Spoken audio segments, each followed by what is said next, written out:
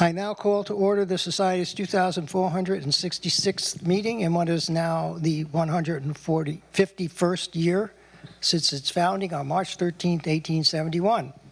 Good evening, everyone. My name is Larry Milstein. I'm the president of PSW, one of the oldest scientific societies of Washington, D.C., dedicated to providing a forum to further scientific understanding and inquiry. Welcome to our members, guests, and friends, including everyone here in the Powell Auditorium and the Cosmos Club, and everyone tuning in on Zoom and on YouTube to tonight's lecture by Francis Halzen. The Society is grateful to the sponsors of the 2022-2023 lecture series for their support, the Policy Studies Organization in cooperation with the American Public University, and a generous sponsor who has asked to remain anonymous. And we're also grateful to the sponsors of tonight's lecture, PSW members Brett Magaram and Eric Innig. Thank you, Brett and Eric.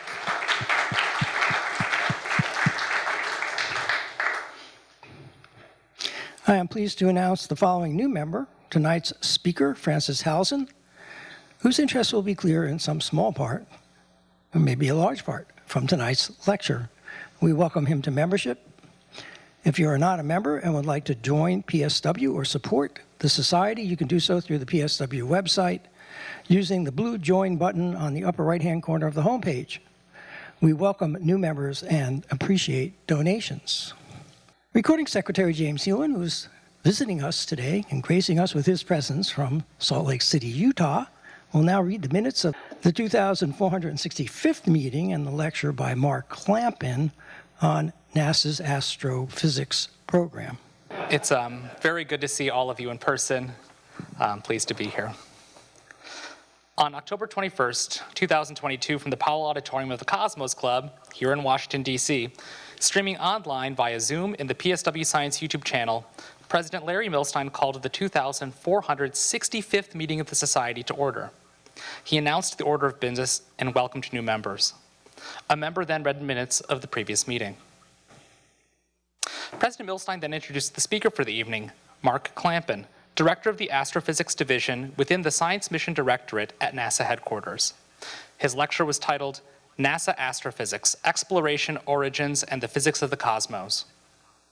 Clampin spoke about the space missions that NASA's Astrophysics Division builds and flies, and the science goals for those missions. Those missions generally aim to learn how the universe works, explore its origins and evolution, and search for the life on other planets. NASA's astrophysics program is structured around the National Academy of Sciences decadal surveys, which recommend priorities for science observations. The surveys generally recommend a balanced portfolio of small to large missions, and each decade they recommend a flagship mission. In 1972, the Decadal Survey recommended the Hubble Space Telescope, which launched in 1990. The recommended purpose for the telescope was to understand the Hubble constant. Clampin said that in 32 years of observation, the Hubble Space Telescope has far exceeded that purpose and facilitated research unimagined in 1972. In 1982, the survey recommended the Chandra Space Telescope. Chandra's X-ray observations help, have helped scientists study protoplanetary disks, map out dark matter, and research galaxy formation. In 2001, the survey recommended building a large infrared space telescope that would become the James Webb Space Telescope, launched in, in December 25, 2021. While other infrared telescopes are, are cooled with liquid helium, Using that cooling process would limit the Webb's usable life. Instead, Webb employs an array of membranes that constantly shade the telescope and prevent the sun from warming it. In July, NASA released Webb's first deep field image.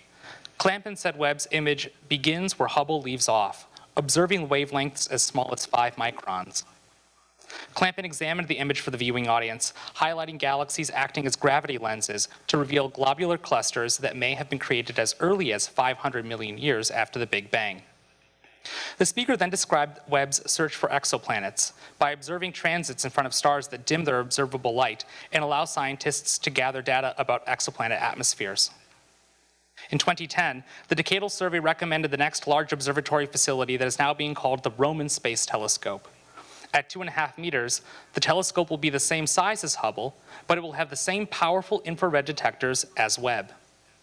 Roman will have 100 times the focal plane of Hubble to conduct infrared surveys to facilitate research into the nature of dark matter and perform an exoplanet census. Clampin then used animations to explain how Roman will study baryonic oscillations, supernovae, and detect gravitationally lensed exoplanets. Roman is scheduled to launch in 2027. The speaker then discussed time domain and multi-messenger astronomy, which the 2021 Decadal Survey identified as an important area in astrophysics. It studies transient events in the universe using different kinds of measurements, or, me- or rather, messengers. One such messenger is gravitational wave astronomy, that allows scientists to see objects from the very early universe, understand pulsars, and see what happens when stellar mass objects collide.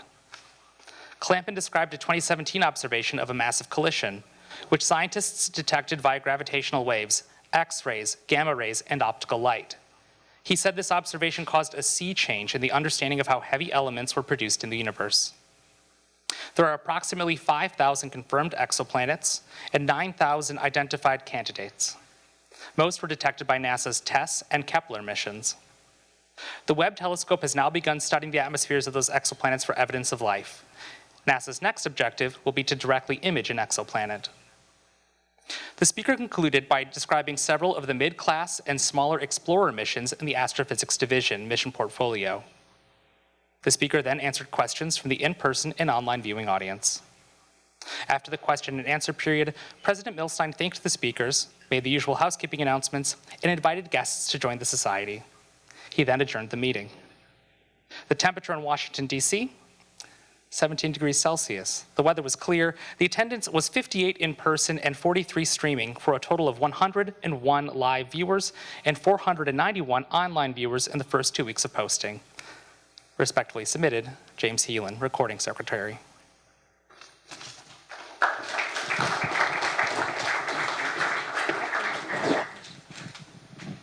Thank you, James. Are there any comments on the minutes? Online members can submit comments to record corresponding Secretary Robin Taylor at correspondingsec at pswscience.org. I don't hear any comments. Nobody? Okay. I'll accept a motion from a member to accept the minutes as read. I have several. Any seconds? If you already said the first, I don't know if you can do the second. I'll have to look that up. Uh, All members in favor of accepting the minutes as read? Aye. All opposed? The minutes are uh, unanimously approved and will be posted to the website in due course, subject to any important corrections that come in over the web in the next few days or by email. Okay, we now turn to tonight's speaker, Francis Halzen.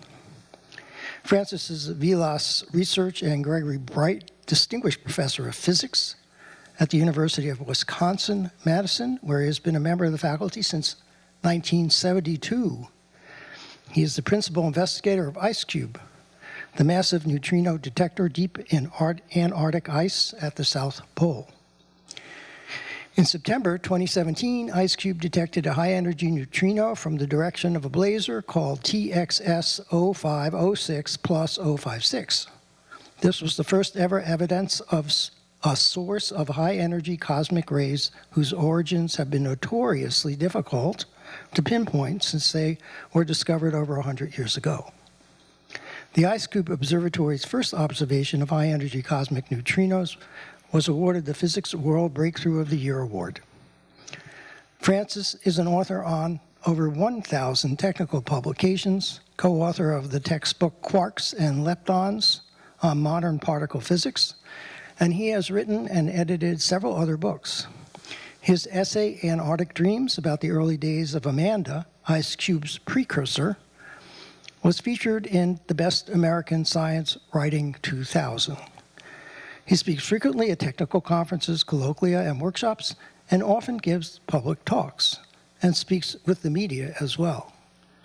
Among other honors and awards, Francis is the recipient of the Smithsonian American Ingenuity Award, the Balzan Prize, the Bruno Pontecorvo Prize of the American Astronomical Society, the IUPAP Yoda Prize, the Bruno Rossi Prize, and the IUPAP Homi Bahabra Award, and several honorary doctorates. I probably kind of didn't pronounce that correctly, but he is a fellow of the American Physical Society and he was named a Vilas Research Professor in 2021. He is a native of Belgium and he earned an MS and PhD in physics at the Catholic University of Leuven.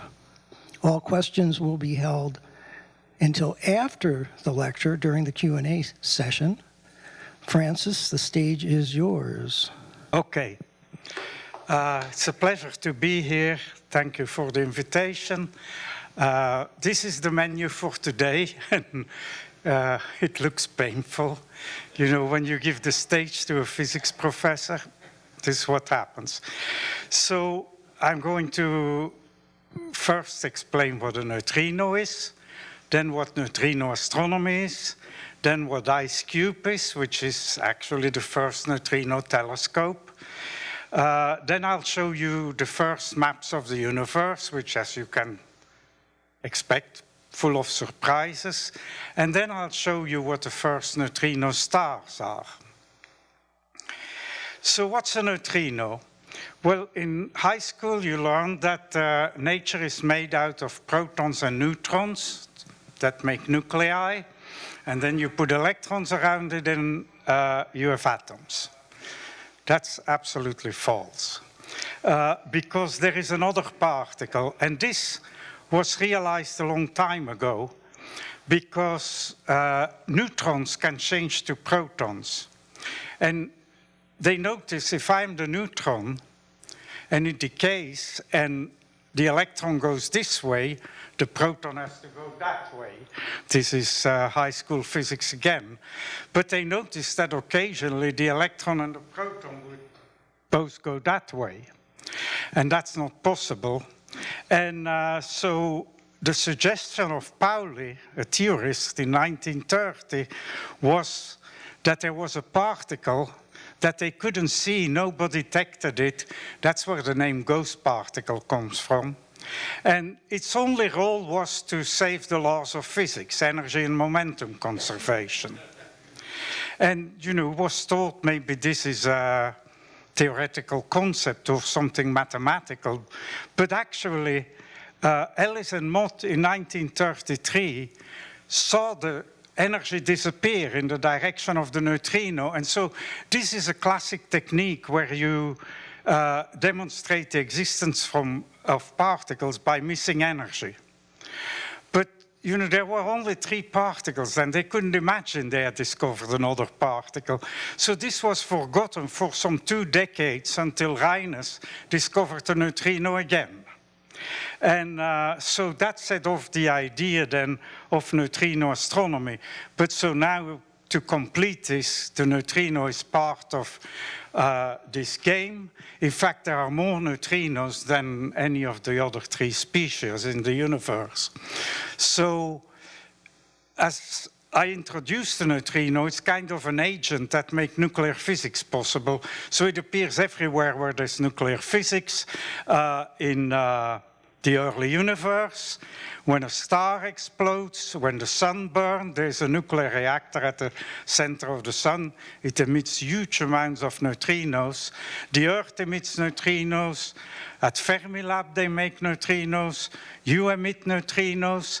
And the important picture is the one to look at, is the one here.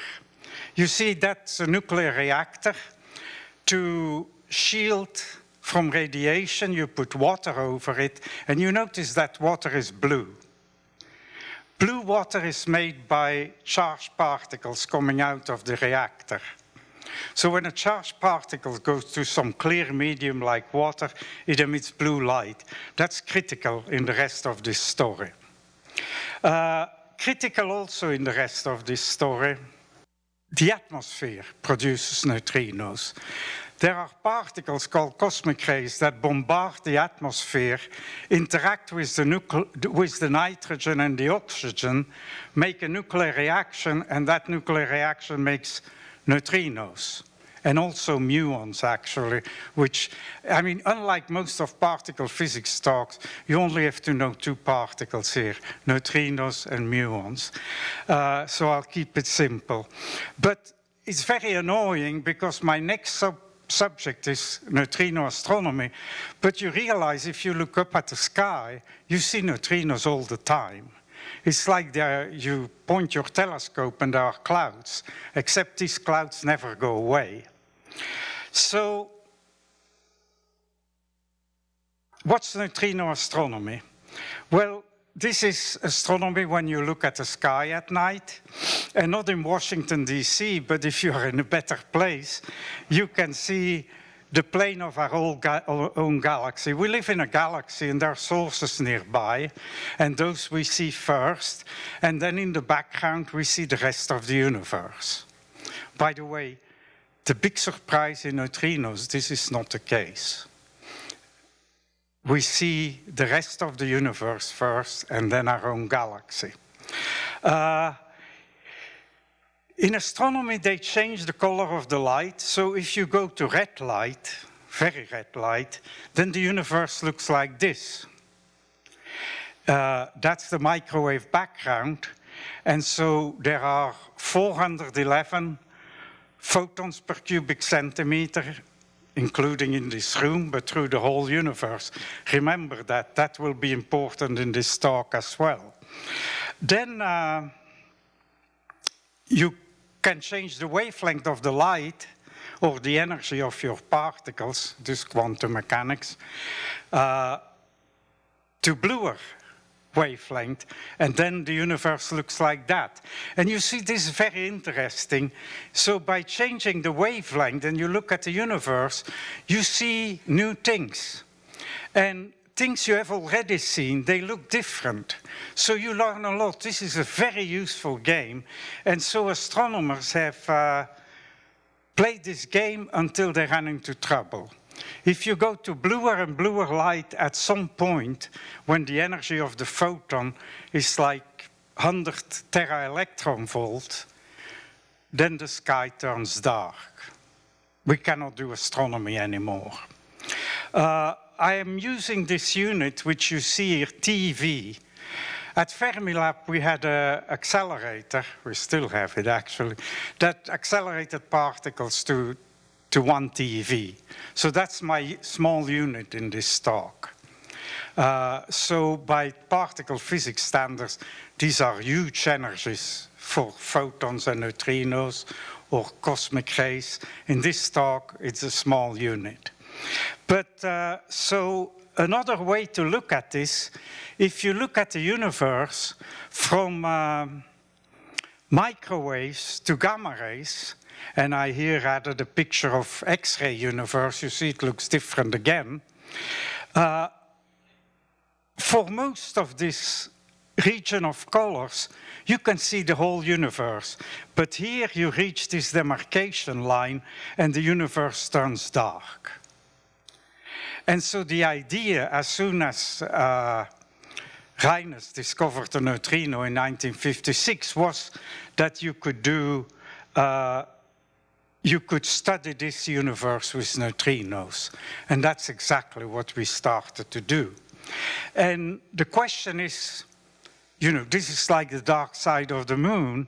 What if there's nothing there? And believe me, I had to answer that question. Well, there is something there.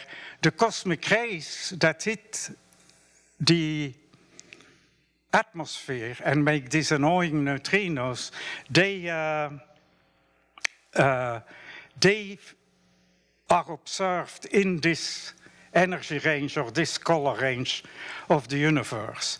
Now, first, why the does the universe turn opaque? That's very well understood physics, and I've already explained it. Because suppose you have a source very, very far away, and it emits a gamma ray, it's moving through this microwave background of 411 photons per cubic centimeter. Inevitably, it will meet one, and then it will produce an electron-positron pair. Now that's very annoying because an electron and a positron are charged particles. Charged particles are bent by magnetic fields, by the magnetic field of the Earth, the magnetic field of the galaxy, and the magnetic fields outside the galaxy, which we know very little about. And so that's the end of astronomy. However, uh, what about the protons? Well, they are charged as well. I will call cosmic ray protons, some are helium and so, but that's a detail, doesn't matter. Uh, so they are charged as well. So they can be produced over there, but arrive from that direction. So the sky is scrambled and they contain no astronomical information, so far at least. Uh, neutrinos don't have that problem. Neutrinos, remember, they are ghost particles. You couldn't detect them really in 1933. Uh, so as they don't interact with anything, including your detector, most of the time, uh, they reach you from the beginning of time and from the edge of the universe. So they are the perfect astronomical mes messenger, except they are very difficult to detect. And that's the problem we are going to solve. So why is it so important to know the sources of the cosmic rays? Well, two answers to that. They were discovered in 1912. And here we are more than a century later, not knowing where they come from or how they are accelerated. That's one answer. The other answer half of my career I was a particle physicist, and so at CERN, uh, now we have beams of 14 TeV, again this unit, 14 times the Fermilab, energy. But like in 1991, a modest experiment in Utah called the Fly's Eye detected this particle of 300 million TeV. And if you are a particle physicist, that was it. you know, you could never put this out of your mind again. So uh, what did we have to build to figure out where this cosmic ray came from and how it was accelerated? Well, a square kilometer telescope, that's the answer. But you don't detect neutrinos with glass, that's the problem. How to detect neutrinos is very well known. You need water and light sensors, photomultipliers. And this is a picture of an experiment in Japan, in the Japanese Alps. And you see it consists of 10,000 light detectors, which you see on the wall here and the water is being filled in the detector, and these are the graduate students cleaning the photomultiplier tubes. Uh, so, the theorists in their wisdom studying this cosmic ray problem told us that experiment is 10,000 times too small. What do you do? You build one that's 10,000 times bigger. And so the idea of how to do that goes actually back to a meeting in Rochester in 1960 where Markov suggested uh, the following method. Uh, so this is uh, the cartoon of what uh, Markov said in his previous uh, in, in the previous slide. You go deep in the ocean where the water is clear and you build a detector out of an imaginary kilometer cube of water. You fill it with light sensors, just like in the Japanese experiment. And then you look through your feet. You wait for a neutrino to come through the Earth. And what does this neutrino do? It goes right through your detector. But about one in a million times, it will actually hit a nucleus in the water head on and make a nuclear reaction. And that what happens in the water is what happened on my picture of the nuclear reactor. The water turns blue. And if this, and so you detect the blue light, that's why you need the light sensors. And you see here, uh, if this is a muon neutrino, a minor detail, neutrinos come in three types, called flavors. But if this is one of the three, it will make a muon. And this muon is a fantastic particle. It travels through the water for kilometers. And so if it reaches your detector, it speeds through it at the speed of light. And so you can detect particles very, very far away, uh, beyond your detector. The other thing is, it travels at the speed of light or very close, but the speed of light in the water is uh, three quarters of the speed of light. And so that means it's like a speedboat that outruns the waves on the water and it makes this bow, bow, wave. And that bow wave, if you map it, it gives away the direction the neutrino comes from.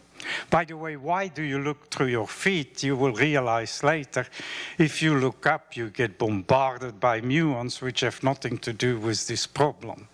But uh, that's again a minor detail at this point.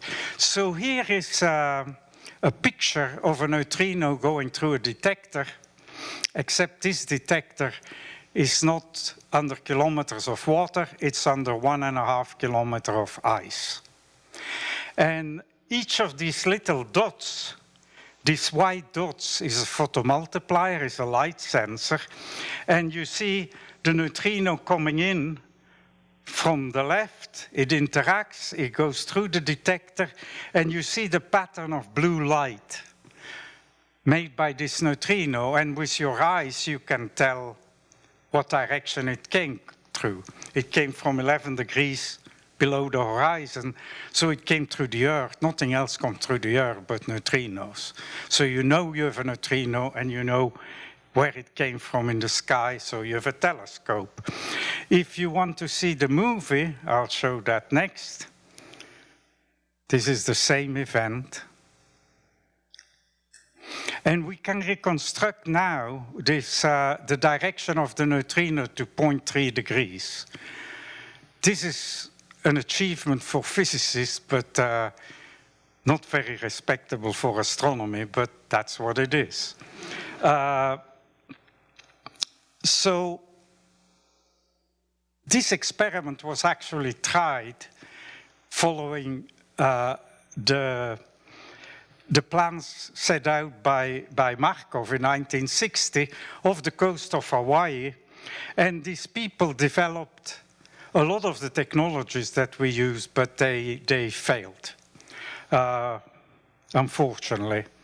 Uh, so we went to the South Pole and decided, I mean, the one good idea we had, the rest was basically luck, as I will explain, was that we realized that it was easier to freeze these light sensors into ice than to put them in the deep ocean with an unfriendly environment.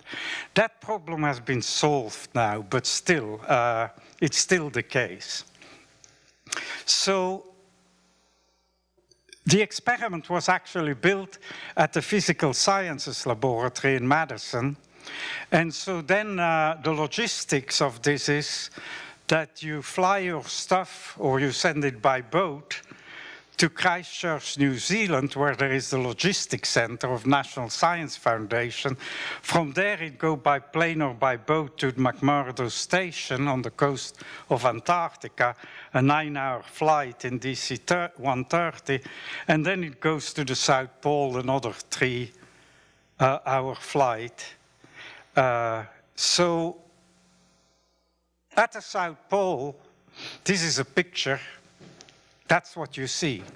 The South Pole is a desert. Uh, there's absolutely nothing. And, uh, but for us, the important thing, you stand here on three kilometers of ice. And uh, if you look, so, and we figured out, this took almost 10 years, that below one and a half kilometers, this ice is incredibly transparent. If you look in the other direction, you see another important thing. You see the South Pole Station. This is actually what made this experiment possible. You couldn't afford trying this out uh, and doing these deployments without the South Pole Station. And uh, the other important thing about the South Pole Station is it's there at night working with people, about 50 people, over two will take care of the IceCube experiment that we built. So I cannot show you a picture of the ice, but if you went if you go to the coast, you can imagine this is the Antarctic ice sheet, and at the South Pole it's three kilometers thick. And uh, below one and a half kilometers, there are no bubbles in the ice, and blue light travels for hundreds of meters. This was pure luck. We had no idea when we started. And in fact, for a long time, we didn't believe this ourselves, but it's true. So this is the clearest clearest uh, substance anyone can make. You cannot even make this in a lab. And the reason is this is uh, 50,000 year old ice. It's infinitely pure. And that gives it transparency. They now make uh, water that has a transparency of close to 100 meter by keeping purifying it. But you know, in some places, uh, the absorption length approaches 300 meter. So this is the picture of the NSF station at the South Pole, the National Science Foundation station. This is where the planes land. At that time, everything went in by plane. No other option. And this is the IceCube construction project at the other side of the runway. This uh, idea existed long before we start building IceCube, and I want to remind you how modestly it started off. I mean, I, when I started this, I didn't have a lab, so I removed the ping pong table from uh, a room I had and turned it into a lab. And we built the first optical sensors there. And you see the whole group in Madison consisted of three graduate students, a postdoc, and uh, a respectable physicist. Bob Morse, who lives now retired in, uh, in Hawaii. So the is part of the project are the light center, you buy these from Hamamatsu in Japan at the time for about a thousand dollars. And uh, you put them in the ice. That's the concept. We actually built a small experiment mostly consisting of 500 photomultipliers that sit at a depth of one and a half kilometers. And this was mostly to, to study the properties of the ice. And then we, we found these really surprising results, how clear it was. And uh, the other thing we did, we detected neutrinos. Here you can see one. You've seen one before. This is the online uh, display of what we call the AMANDA experiment. And I can tell you, in the 30 years of this project, when I saw this event, this was by far the most exciting moment. It worked. And at that moment, we knew we could build a kilometer cube detector. No doubt about it. And, uh, you know, when I give the impression, this is not me. This was uh, not easy in the beginning. Uh, of course, then we do what you're supposed to do. You publish in Nature, make a lot of extravagant claims. We were helped with, by The Economist, who uh, designed the logo for us that you, of the AMANDA detector you see there. And uh, then you go off and ask for more money, more photomultiplier tube. This began, uh, became uh, industrial operation in the early 2000s. You see here the photomultipliers lined up. They are a bit bigger, but the concept is the same. And if you could go in the detector, this is what it would look like. You see this below one and a half kilometers, you see these kilometer long strings. And uh, they contain 60 of these light bulbs. And uh, if you go 125 meters away there, there is another string. And so 86 strings fill this volume. And once you have your stuff frozen in the ice, you have a completely stable detector that uh, takes data uninterrupted even through COVID. Uh, so that's another picture, 5,160 light sensors. And uh, the question you probably ask, and I will get rid of and then go back to physics, is how do you put photo multipliers in the eyes? These are delicate things, right? Well, you need um, a power plant of 4.8 megawatt, which was made out of 40 car wash heaters. And you produce boiling water at uh, 200 gallons per minute, and then you do the following thing. And this is now a proven technology that has uh, delivers a completely stable detector. The first 100 meters, by the way, is snow, and you just melt it. Then you bring in the hot water drill, which is a nozzle, and the nozzle puts out this hot water under pressure, and it falls by gravity. And after two days, it's two and a half kilometer deep, so that you can put a kilometer long string in the hole. There's never a hole, by the way. You just transform ice to water. The water circulates and you reheat it, but it never comes out. So I think we've seen this before. Now you will see the hot water drill. Uh, it's delivered, the whole system is delivered like a circus train, except it's on sleds. This is the drill tower. This is the hose that's two and a half kilometer long, built by a specialized company in Italy, in Venice actually. These are the car wash heaters, a bit improved by clever engineers. These are the generators that run normal fuel that come in by C-130 transport plane to the pole. And you see here the hot water drill is coming out.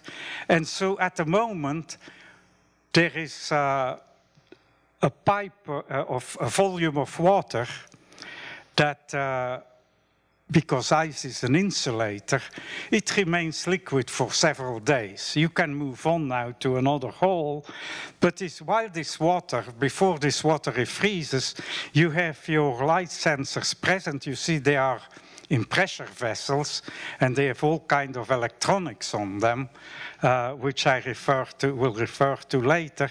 And you see now you lower the cable that powers the photomultipliers in the hole. You attach one every 17 meters, instrument a kilometer long string and let it sink to the bottom. And that's the last time you see your equipment because once it's frozen in, it will never come out, of course. Uh, so here is a picture. I'm not making this up, you see. Here in December, January, uh, 20 holes were instrumented. And you see the cables coming out. They go into this two-story building and this two-story building contains the computers that uh, reconstruct the light patterns and tell you what you are seeing. So I'll show you what you turn on the detector, what do you see? well, you can all guess, you see the atmosphere, right? This atmosphere, the clouds that are always there. And so uh, this is the detector taking data. You see, whenever you see a sensor light up in color, it detected light, and that information is used by the computer to reconstruct these muons. And you see, the, this movie is 10 milliseconds long. And you see all the muons that are, have been reconstructed. I can show it again. So we detect about 100 billion muons per year made in the atmosphere that make it to the one and a half kilometer of ice. We detect 100,000 atmospheric neutrinos made in the atmosphere. And so in that mess, we are looking for a signal from the cosmos. So when we finished constructing the detector, I cannot resist showing this slide. New scientists put up a web page where you could bet on big uh, projects. And we were only given a six to one chance to discover cosmic neutrinos. And I can tell you, I couldn't sleep the night I read this. And uh, the Higgs was also given six to one. And LIGO gravitational waves were given 500 to one. And, you know, we have seen all these things by now. So what wonderful time we live in. Uh, I could spend the rest of the day on this slide.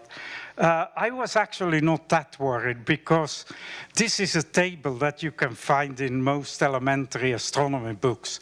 And it tells you that when you build a new telescope, you are going to see something interesting or do something interesting. And in our case, you know, we detect neutrinos that have 10,000 times the energy of those at Fermilab or more. So we could always do neutrino physics. I, you that I was really never uh, worried about. Uh, so that table again, I could spend the rest of the hour on. So what did we do? Well, we started to look for the easiest thing possible. And that's the following. I explained how gamma rays, how, you know, the, the sky turned dark, except to neutrinos, at about 100 TeV because the gamma rays transform themselves in charged particles. The protons, they cannot be used to do astronomy, but occasionally they are also moving through this microwave background. So occasionally they interact with a microwave photon, make a pion that then make a neutrino. And these neutrinos have incredible energy the light pattern fills the whole detector.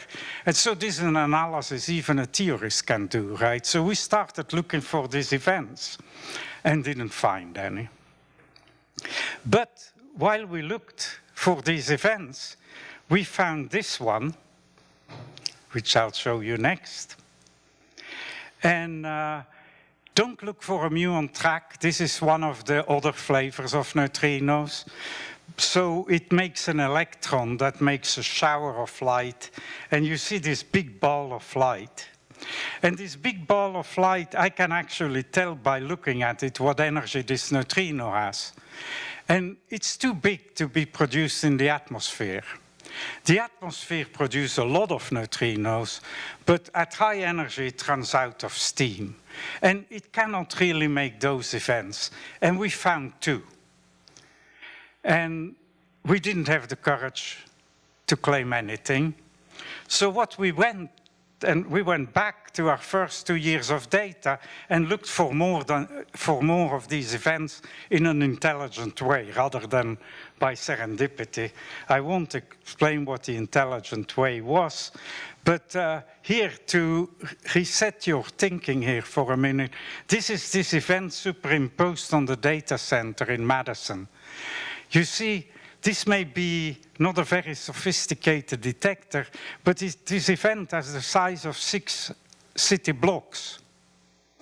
And so there are, uh, we detect, um, there are more than 300 signals in this event and uh, more than 100,000 photons. And we know where each of them is to about 60 centimeter. So you we're sure of the energy of these events. Uh, that's the precision of, you know, real particle detector at Fermilab or CERN for these events. So we looked at the two years of data, we saw 26 more. And then we published in Science and uh, we were, as was mentioned in the introduction, the breakthrough of the year. All this happens in weeks. And we were very worried. you can imagine uh, uh, how what you know you're thinking all the time what am i going to do is this not real? But it is real. We have now seen cosmic neutrinos in four different ways with incredible statistics. This uh, this is uh, you know you can ask the question after all you didn't use Markov's method of looking for tracks coming through the earth. Well, we did. Some graduate student was still doing this, but we beat him by six months. So, but uh, it was good to see his result. You see here, that's the number of neutrinos we see as a function of their energy. And so these are the neutrinos coming from the atmosphere. And then suddenly, at high enough energy, the atmosphere runs out of steam, and we see this excess of about 200 neutrinos per year coming from the universe. And um, so we are not looking actually really for a needle in the haystack. We are looking here for a haystack sticking out of the atmospheric neutrino flux. Uh, what did we see? Well, I show you a year of data here, 138,000 neutrinos. We know from our observations in this there are 200 cosmic neutrinos. So where are they? Good luck. Where do they come from? Well, you then go and just look at the high energy ones, the haystack those that were in the haystack. And we looked at these in astronomical maps and did this for many years, and that led absolutely nowhere. Uh, notice, however, we don't see the galactic plane in this map. There is no concentration of the neutrinos along this major axis of the ellipse. That's a very interesting problem, which uh, is not in this talk. Uh, but the interesting thing we found out is this is a plot. The details don't really matter. This tells you how much energy there is in the universe in certain colors of light. And you see here is the microwave background, that are the most photons, that are the ones that make the universe obscure. Then you go through infrared light, visible light, X-rays. Then you come to gamma rays and then the universe turns dark. But you notice this is our early measurement of the flux. We actually there is more energy in the universe in neutrinos than in light. And that nobody expected. You know, cosmic ray physics and neutrinos was supposed to be boutique science, right? Well, neutrinos dominate the energy in the universe. Uh, so these are main conclusions. We don't observe our own galaxy, but we see a universe energetic dominated by neutrinos. And this is, of course, a real opportunity to do astronomy now. But I told you we were unsuccessful. So what we did is to find out where these neutrinos come from, we tried something different. We uh, something brave. When we detect a neutrino at the South Pole, within less than a minute, we reconstruct it with just a computer farm. Normally, the neutrinos are sent, are reconstructed at the pole, then sent by satellite to Madison, further analyzed, and then sent to the collaboration for science. What we did, as soon as we knew the coordinates roughly, we send information to every telescope in the world. And we had no idea whether anyone actually ever paid attention. But we just were trying just our best data overboard to the public. And this was uh, an event, a very likely cosmic neutrino, 300 TeV, we detect in September 2017. And uh, the event is shown on the next slide. And uh, it turned out that is, you looked at its direction inside Orion, and it came from an active galaxy. An active galaxy is a galaxy like ours, except they have active black holes. I'll come back to that later. And uh, the chance coincidence of this is about one in a thousand. So it's not a big deal. It's what happened afterwards that made this real. Uh, it was detected to be a galaxy, a black hole that produced TeV gamma rays, which is very unusual. It's a subset. So that made the plot thickens. In fact, we got our answer at some point 22 telescopes were looking in the direction of the neutrino event.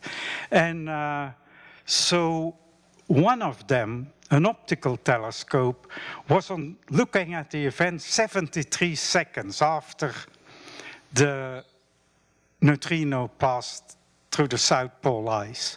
And in fact, they saw a glitch in the source that associates this neutrino with that galaxy with a you know, uh, 50 sigma for those who knows what that, did, what that means.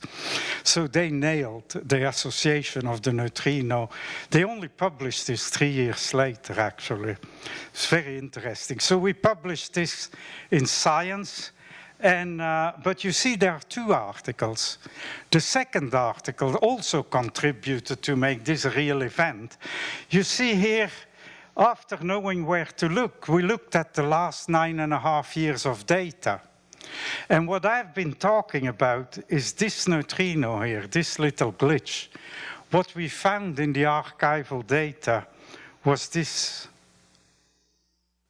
flare of neutrinos in 2014, which had all the right properties, right straight at the source and uh, all the right properties to be cosmic neutrinos produced by a supermassive black hole. So this is a picture of a, a, rotating supermassive black hole, and there are many places you can accelerate neutrinos. And the most obvious place is this jet of particles it's accelerate. And I think people got carried away with this jet. We now think, we not only think, you will see later, that very, these neutrinos are produced very, very close to the black hole. And uh, it's a region where there are a lot of magnetic fields, the accretion disk, the, the, the, matter that swirls in, makes high magnetic fields. You accelerate protons, that uh, region about the black hole is totally opaque. And so you have lots of gas and photons to produce neutrinos because you need a target to produce the pions that decay in neutrinos. So uh, uh, this is the picture that started to emerge when we studied this TXS 0506. By the way, 0506 are coordinates that is the telephone number. It tells you where it is in the sky. And TXS tells you what catalog. This stands for Texas. And it's a catalog of sources made by uh, a Texas McDonald Observatory. So this is where my talk would normally end.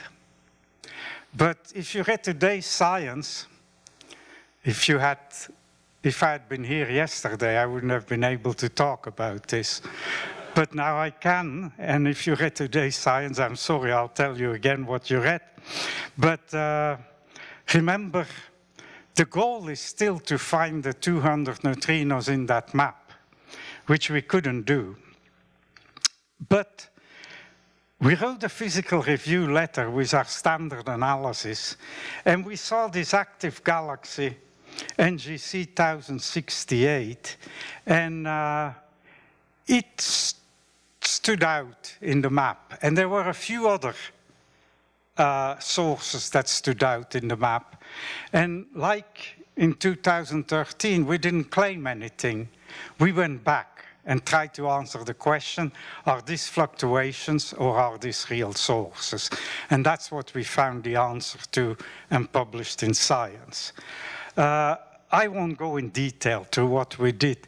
Instead of reading this, just listen to me. what did we do? First of all, you know, for 10 years we had been doing science, so we went back and totally recalibrated the detector, finding out where every phototube is, how it was oriented, and we calibrated every photomultiplier individually. So we knew its sensitivity to light one by one, all 5,000. And that was taken into account in reconstructing the data. And that refinement we applied to the last 10 year of data. Also, uh, machine learning helps us to find the neutrinos. Now, I thought I was too old for machine learning. I thought I was very suspicious. God, it works. it does wonders. And so we could reconstruct the direction better, 0.3 degrees, as I mentioned. You know, this experiment was to have a sensitivity between one and one and a half degrees when we started 15 years ago. And then the other thing, which was our telescope was partially blind because we described the direction. You know, you saw, you see this cluster of neutrinos of TXS. We described this cluster by Gaussians. And it wasn't Gaussian at all. So we had the wrong, what astronomers call point spread function of your telescope. So it means you're partially blind because you have to have it right.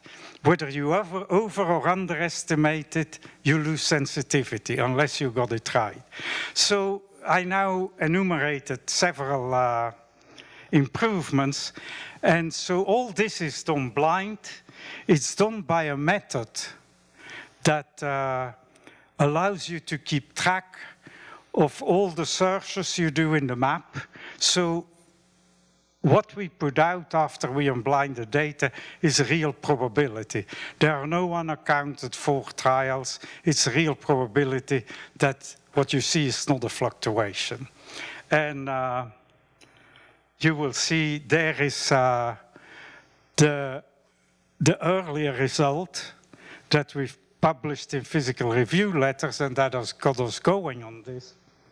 Uh, and then you see how slowly with the improvements, the reconstructed neutrinos move toward the source, and instead of 40, we got 80. And so, of course, your confidence is proportional, more than proportional, to the number of neutrinos we see. And so we nailed this active galaxy NGC 1068. Uh, you can look at this a different way, a bit more scientifically. Uh, in this picture, this picture tells you how many neutrinos there are in the direction that are coming from uh, the background, from the atmosphere actually. But then when you approach the real direction of the source, you see the neutrinos increase. And what you don't see is that neutrinos also have on average higher energy, which helps to, to making sure that this is a real source. Uh, so another way of looking at, you see here is, uh, here are the neutrinos that come from the source with the correct point spread function compared to the background. Uh, then you see, this is, uh, and I will stop there. You see here, this is the number of neutrinos, not as a function of direction of the source, but where they are in the sky. So you go through the southern sky, looking from the horizon to straight down or up, from the point of view of here. And so you test all these sources here, and they are at the level of our sensitivity. But here you see NGC 1068 sticking out. In fact, this is the line that gives you 5 sigma discovery before the trials. And you see it sticks out, but notice there's another source sticking out.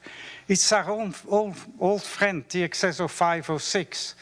And though we don't use the time dependence, we just integrate all the data over 10 years, it still sticks out. So it survives uh, this test as well. And there are a couple of other sources which I've listed here. The interesting thing about these sources is that they are all the same type. They have this very active galaxies that are hot and dense. And the fact that they are hot and dense means they don't emit photons.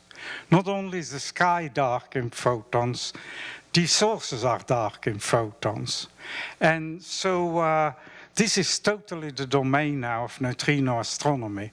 So we are finally looking with a reasonable number of neutrinos to a region where this is happening very close to the supermassive black hole. So this was the dream of uh, neutrino astronomy. Uh, one of the sources that's uh, kind of second tier is NGC 4151. And that's interesting because 1068 and 4151 were the two first galaxies of this type discovered by Seyfert in 1943. He discovered Doppler lines that showed the rotating supermassive black hole. So here we are. Uh, uh, same two sources. Uh, I think I have already told you they all look like that, although this is an artist's conception. And so to conclude, uh, the goal was, what are the sources of cosmic rays? Well, are it the cores of active galaxies? Maybe the answer, may not. Maybe there is a subtlety we're still missing. Maybe there are other sources that also make cosmic rays. These are all questions that remain to be answered. But I think the critical thing is that I have, hope to have convinced you that with IceCube and multi-messenger astronomy, we have the tools to solve this problem now. Finally. Thank you very much.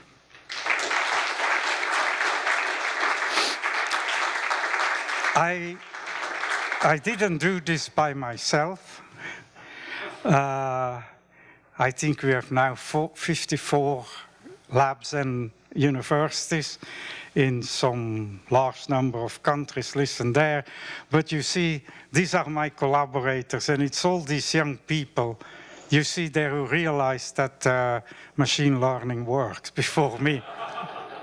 Thank you very much.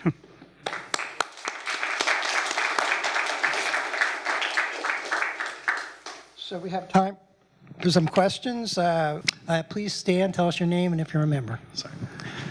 Uh, hello, Matt Kaywood, new member.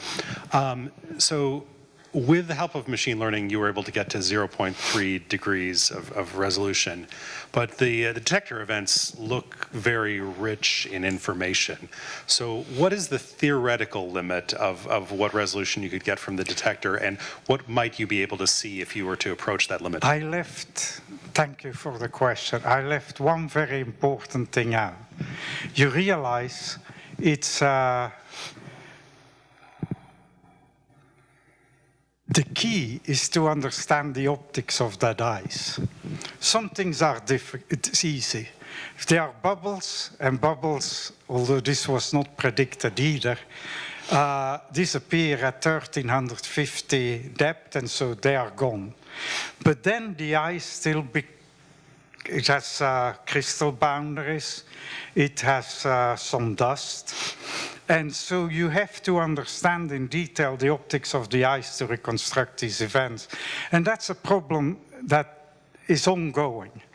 In fact, we are upgrading the detector in, fifth, in uh, 25, 26 season, and one of the games is to, to do a better it has other reasons uh, for deployment, but uh, one of the reasons is to deploy devices to yet better understand the optics of the ice.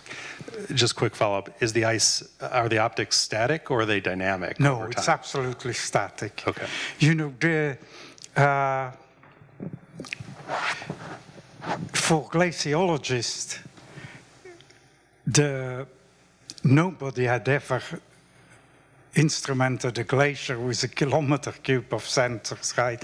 So we have all kind of devices to do glaciology measurements, like the stability.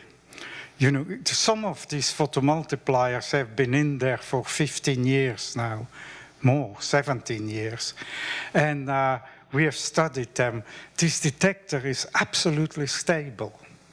and we don't see any changes. We have, uh, we have tilt meter measurements to see if the ice, uh, uh, when it flows off the Antarctic uh, mountain range, whether it shears, and it doesn't as far as we can see. It probably does below the 500 meter, 400 meter below the last module. But yeah, this Stu Reuter, member. Two questions, actually. You mentioned the blue light in a reactor. I remember that as something called Cherenkov radiation, if I'm correct. yeah. My other question is, how much have you spent so far? Uh, If you can say that out loud. uh, yeah. Actually, uh, about 300 million. Thank you. And now that you ask, we actually have a method to make the volume of the detector more than eight times bigger for the same amount of money. And so this, we have a design for that, which was submitted to the Decadal Review and, and endorsed by Decadal Review. So, uh, and that's the type you know, I didn't emphasize this, but it's clearly you need more neutrinos, you need better angular resolution, and that's what this detector will give you. Also, uh, the detectors developed in the water have uh, solved their early problems. And so there is now a detector being deployed in the Mediterranean and one in Lake Baikal. And there are designs for a detector in the, in the South China Sea and one for off the coast of Canada. So there are going to be more instruments, more neutrinos, better neutrinos. So this, this field is going to explode. Uh, Blue microphone, Scott? Yes, my name is Scott Matthews, and I'm a member. Um, I remember when you guys announced the observation of Bert and Ernie, and I remember the just staggering energies of those particles. Uh, Is that characteristic of these cosmic neutrinos? Are you seeing lots more events? Well, yeah, uh, the answer, okay, I didn't go into the, I only mentioned, so the 88 neutrinos uh, from this new active galaxy, uh, they have typically lower energy. So these events were unusual. We found them serendipitously because they stick out with this huge energy. Now, that's not the way, however, to do this science. The way to do this science is try to come to lower energy where there are many more neutrinos. So we go from like one from the TXS source to 80 from this new source. And that, of course, is what makes it so, so convincing. There's also more information in it. We have information on the spectrum, which I didn't discuss. But I, uh, I welcome you to uh, buy science. I don't have any interest in it, but yeah. So you can do, it's, uh, so the, the game is to, to get more neutrinos, to get more information.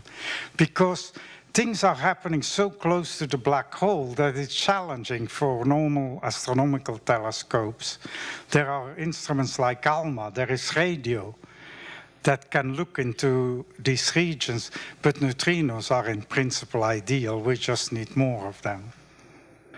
Uh, Timothy Thomas, I am a member. I'm curious about I'm curious about uh, neutrinos that may come from the Big Bang, and where are they? And they, what's what's the story with that? Uh, well, uh, they are even harder to detect. And they have not been detected.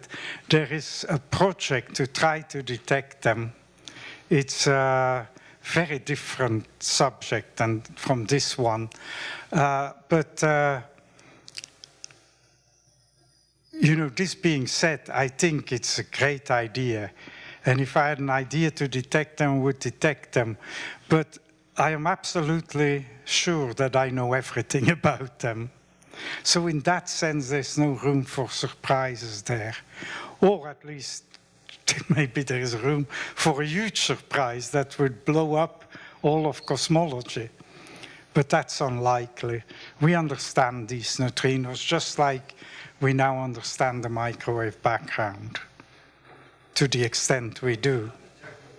No, no, it's very difficult. It's totally different techniques. It's more like tabletop techniques.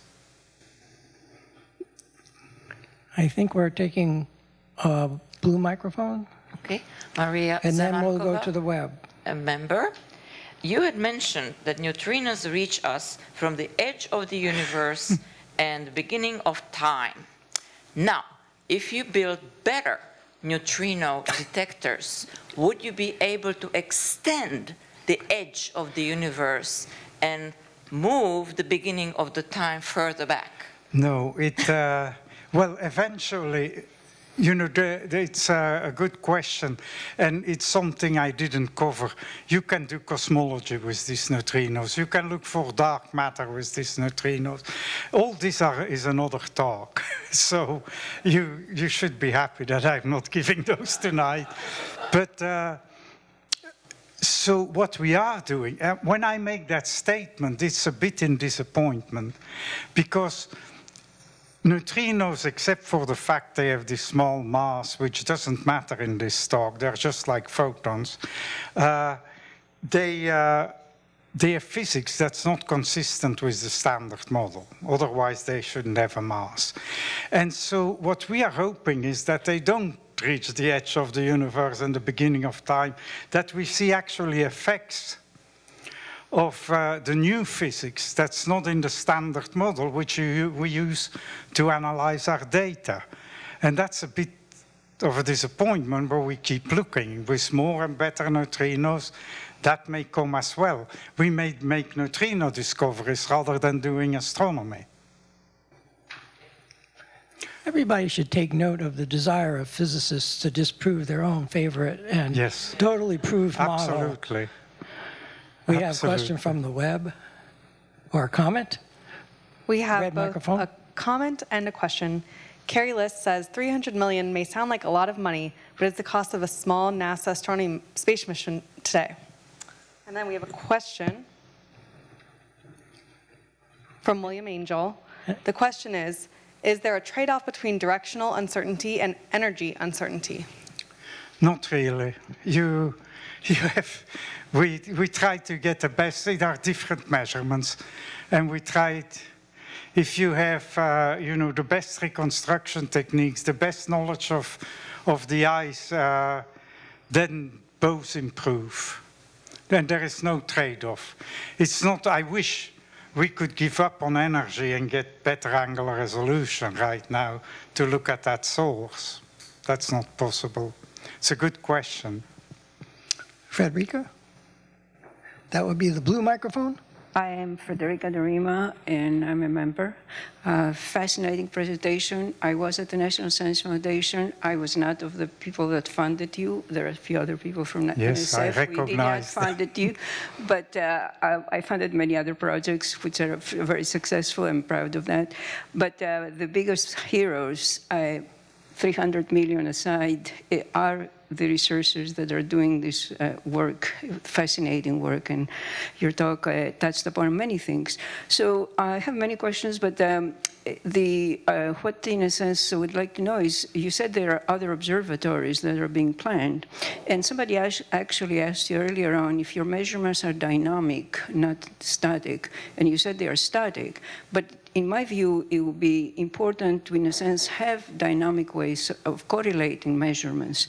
And also, what new insights would could be derived by, in a sense, correlating measurements from the various other observatories, uh, you know, neutrino observatories, given the astonishing speeds, all right? Actually, you mentioned the first uh, example you gave was 900 million TV or 300 million Nearly TeV. 300. Number one, how did they measure that? Where, where, what are the conjectures how it came?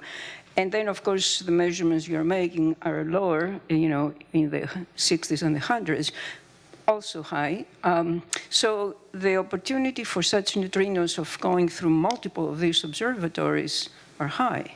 And so would be a value to try to correlate these measurements. And second, what physics, what in, uh, additional physics you can derive by having such? These are a, a lot of good questions. uh, there are, I want to start with a, uh, the question of multiple observatories. And, you know, when uh, I always struggled with that because uh, at the beginning, when we were starting the Antarctic project, we were sure, and, and we were sure, we, where we were right was that this was the way to have easy deployments and deploy a stable detector. And that we have delivered. And so but while they were struggling with reviving the DUMAND experiment, there was this discussion of no, we should only build one experiment. And then you have to decide which the best is, which is impossible. By the way, we now know you can build this as well. The, the science you can do in water or in ice. The advantage of ice is the logistics is simpler, even though you know it's not that simple. Uh, so it's easy for me to say that logistics is simple. But that, there was a, a man, he passed away, unfortunately, Trevor Weekes, who gave me the answer to that question. He said, you know, this is astronomy. The sky is big. It's not like building an accelerator where you have one experiment, you detect the Higgs, measure its mass, and you win. So astronomy is not like that. You can have a much smaller telescope and have the right idea of looking in the right place or doing the right analysis and make a major breakthrough. So I think more experiments are critical. Also, and I don't think this came through in this talk, but uh, you know, we always live in panic of announcing something that we later have to take back. Because we are a only instrument, if we have to take something back the next time, nobody will believe us.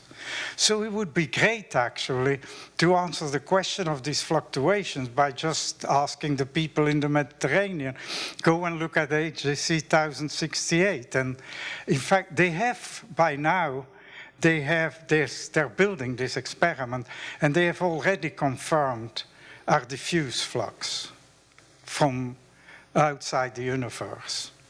And Baikal has analyzed a couple years of data, and the highest energy event comes from, guess where? TXS 506. So, but, you know, where you, you get a flavor. Uh, this is astronomy, so it's not like building one accelerator with two experiments or one experiment. It's different. Going to take a question from a, a Zoom participant, John Grunsfeld. He asks, what about neutrinos from the sun? Yeah, uh, that uh, connects with the question about neutrinos from the Big Bang. Okay, so I have to...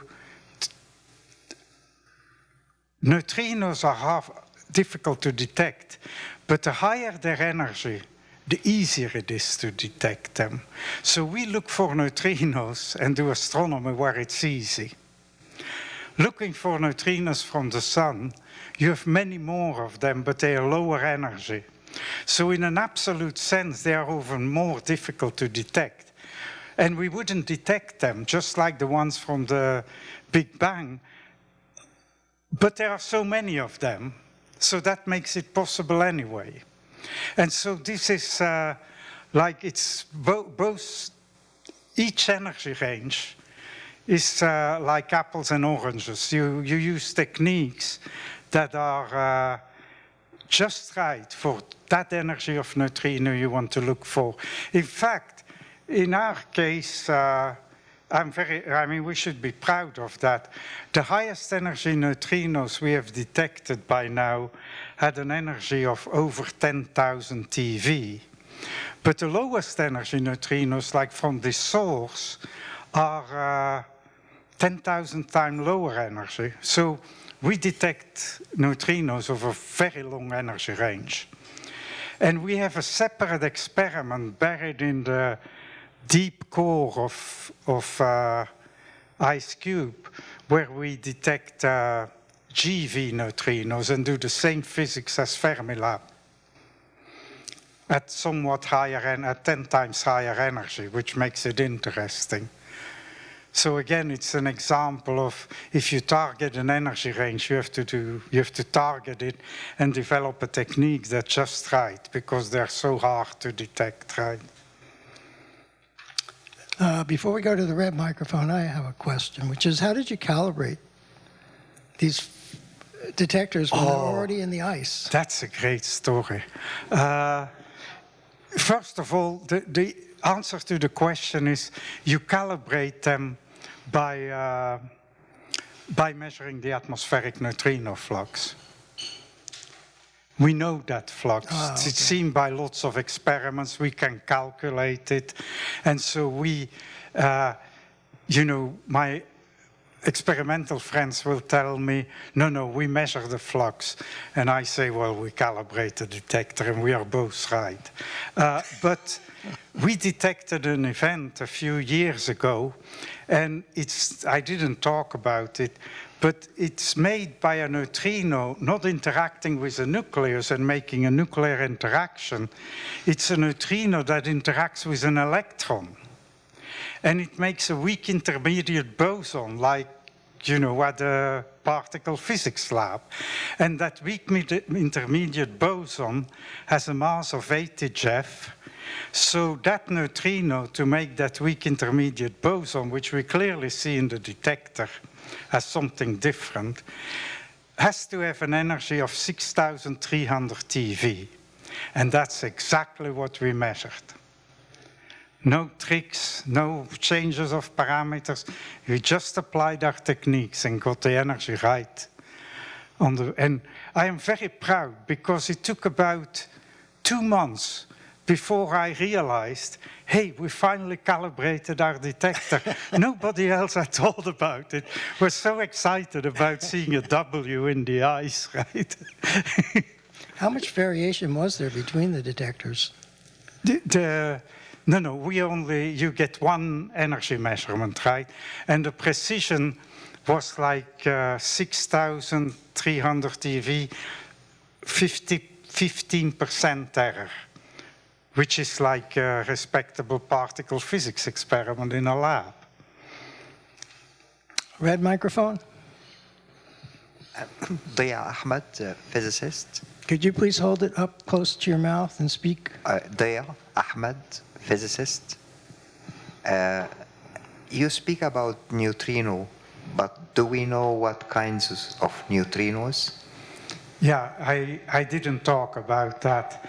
Of course, we can tell, we can always tell, you can tell, an Nui, I'm now going into the three flavors, right?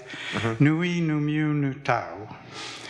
Uh, so most of astronomy is done with Nu mu, so I only had to mention for our 2013 discovery, this uh, big Nui and Nu tau events.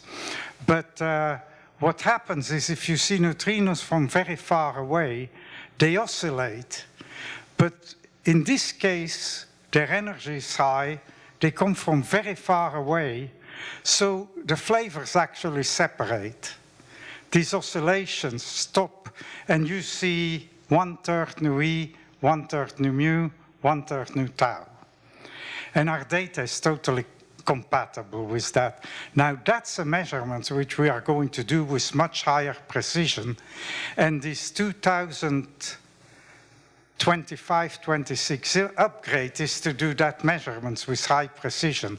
Because if you see a deviation from one-third, one-third, one-third, you've discovered new physics, new neutrino physics, which in a sense we already know to exist, right? Because they have uh, this tiny mass. But it would be nice to, to actually study and get more hints about the new physics. Does And it, so flavor oscillations is, is a big priority in these experiments. does their energy uh, correlate with their flavor? Well, we do this experiment in two ways. The way I just described with cosmic neutrinos, but we also do it with atmospheric neutrinos. We don't have as good an experiment as the experiments at Fermilab, but we have many more neutrinos. And so we are about to publish an oscillation result uh, in the energy range of Fermilab, a bit higher, uh, which contains 60,000 neutrinos and 6,000 nu taus. And so this is a whole new game of precision, but we are still working on that. You should realize that less, only a quarter or so of the people in this experiment are working on what I talked about. This is like a Disneyland for doing all kind of things.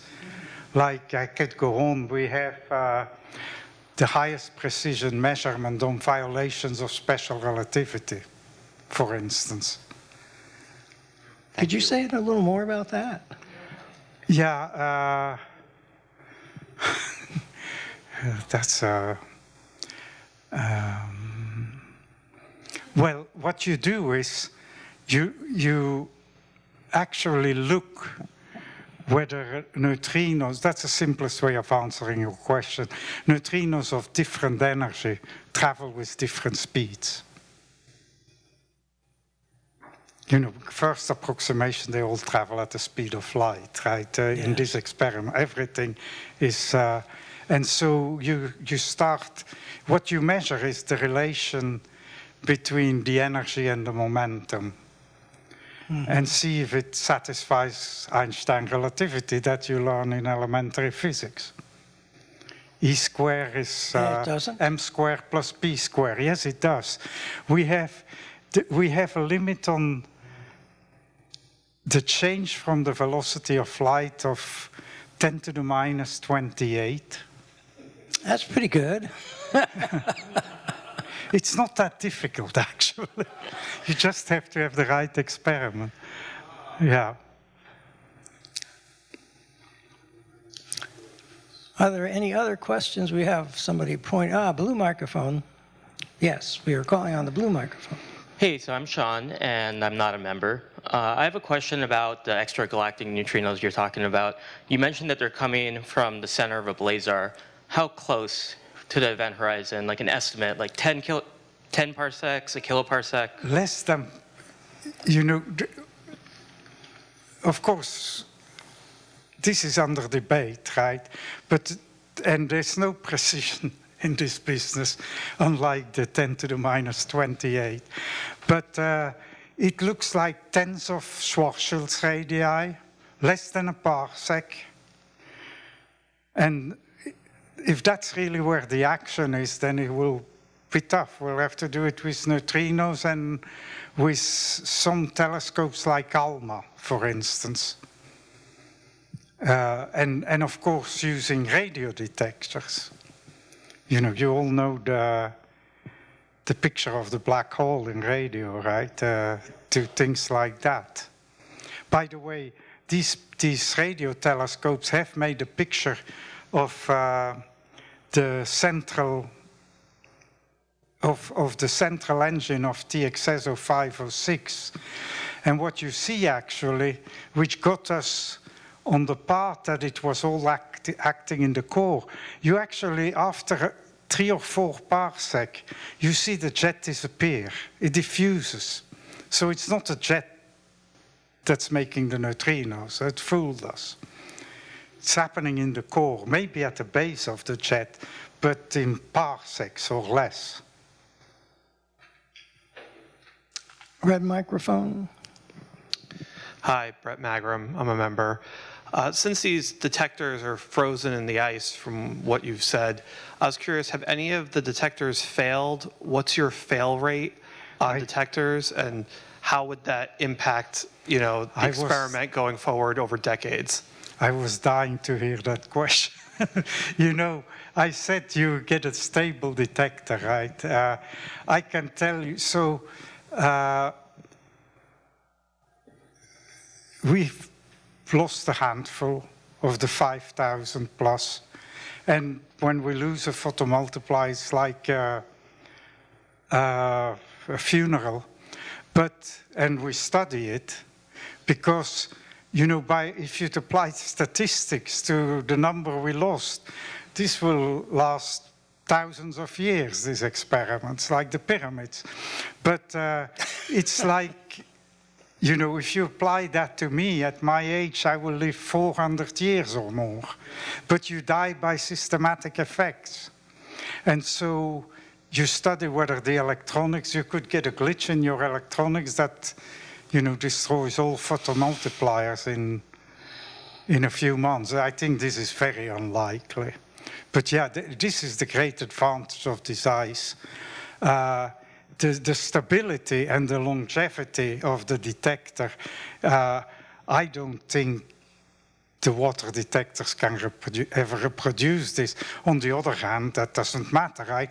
If we lost 500 phototubes tomorrow, it would not matter.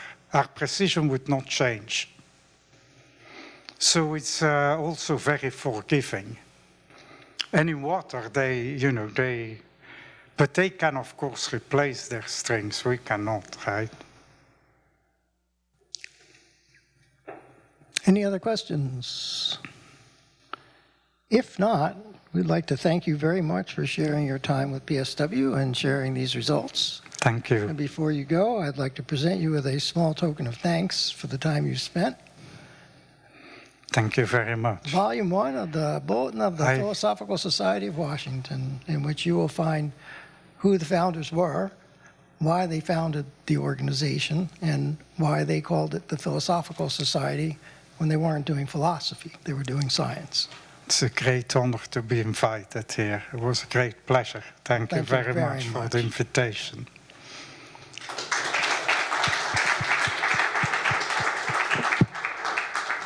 Before everyone goes to the social hour or wherever, we have a few important notes.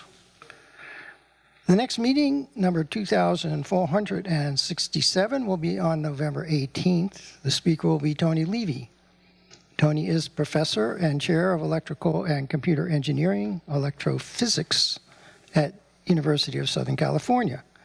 He will be speaking about a new technique for seeing inside anything in 3D called hycrographic X-ray laminography. I actually picked this because I like that title so much. The lecture is sponsored by PSW member Adarsh Deepak. Oh. The 2468th meeting will be on December 2nd. The speaker will be Sean Gulick. Sean is at the University of Texas, where he is research professor in the Institute for Geophysics, co-director of the Center for Planetary Systems Habitability, and associate chair of Lithosphere and Deep Earth Studies. And he'll be speaking about the latest on the great dinosaur extinction, the 2469th meeting, which will be the last of the fall 2022 lecture series, will be on December 16th. We'll have two speakers, Rich, Rachel Klima and Wesley Furman. Rachel is planetary geologist and director of the Lunar Surface Innovation Consortium at the Johns Hopkins University Applied Physics Laboratory, and Wesley is senior staff scientist at APL. They will be speaking about the Lunar Surface Innovation Consortium and about going back to the moon to stay. Please check the PSW website often for up-to-date information on meetings. Finally, let's thank tonight's crew, James Heelan for reading the minutes, Robin Taylor, who you never see because she's hiding behind all the instrumentation back there, who does the video, the sound, the live stream, the Zoom, and arranges the dinners. Jared McQueen and Connor Nixon for running the cameras, Ann McQueen for YouTube chat and rosettes, Cameo Lance keeping the room in order, and Bill Mitchell hasn't done anything yet, but will be editing the video prior to its permanent posting on our YouTube and Vimeo channels. And with that, I will now adjourn the 2466th meeting of the Society to the social hour. I wish everyone a good morning, good afternoon, good evening, or night, wherever you happen to be. The meeting is adjourned.